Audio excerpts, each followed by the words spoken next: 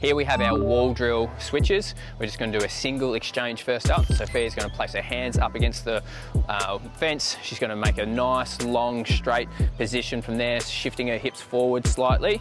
Yeah, perfect. Then she's gonna bring one of her legs up to that 90 degree position, toes pointed forward, and she's going to try and place her foot back down underneath her with a lot of force, and then she's just gonna do a single exchange each side.